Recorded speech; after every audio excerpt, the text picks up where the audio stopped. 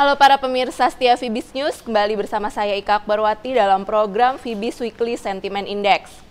Kali ini kita akan kembali sama-sama melihat bagaimana potensi pergerakan dari indeks utama Asia yaitu indeks Nikkei di bursa Jepang dan indeks Hang Seng di bursa Hong Kong. Pada perdagangan hari Senin ini, kedua indeks berjangka tersebut mengalami kenaikan yang cukup signifikan, didorong oleh hasil positif dari pemilu Yunani yang telah dilaksanakan hari Minggu kemarin. Di sini kita melihat bahwa hasil pemilu Yunani yang positif tersebut merupakan fundamental positif yang diperkirakan akan mampu menjadi uh, faktor yang menggerakkan menguat bursa-bursa saham di Asia untuk minggu ini pemilu Yunani berhasil memenangkan partai yang mendukung bailout di mana Partai New Demokrasi berada di posisi pertama dengan perolehan 29,7 persen suara. Sementara itu, partai garis kiri yang merupakan oposisi mengalami kekalahan di posisi kedua dengan hanya mengumpulkan suara sebanyak 26,9 persen.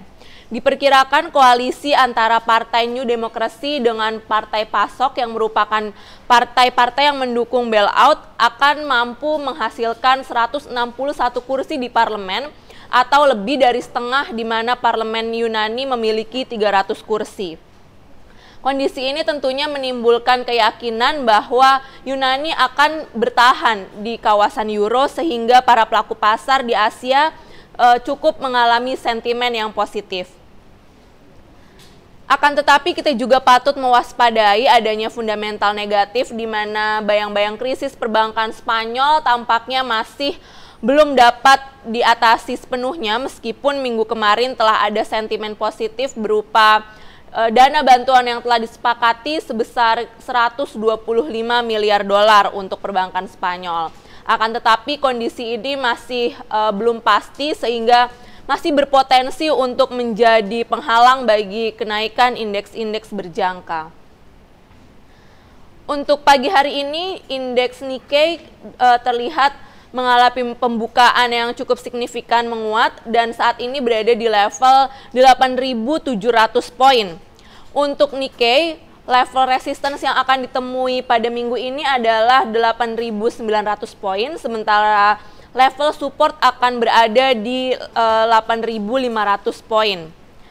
Untuk Nikkei sendiri secara uh, fundamental maupun teknikal sudah berada di dalam kondisi bullish meskipun masih uh, berada di dalam kondisi bullish yang lemah.